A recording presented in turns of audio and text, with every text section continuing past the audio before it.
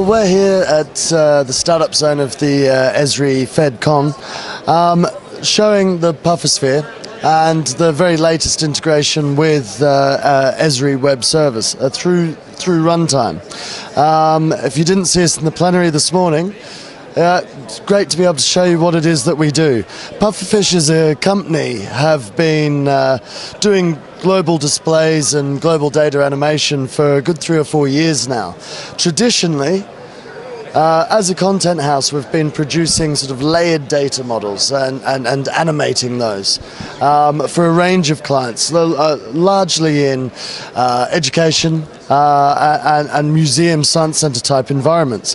What we're really excited about now, however, is uh, with the very beginnings, and we are very much at the beginning of integration with uh, the Esri runtime, is a whole new level of animation uh, and integration and visualization.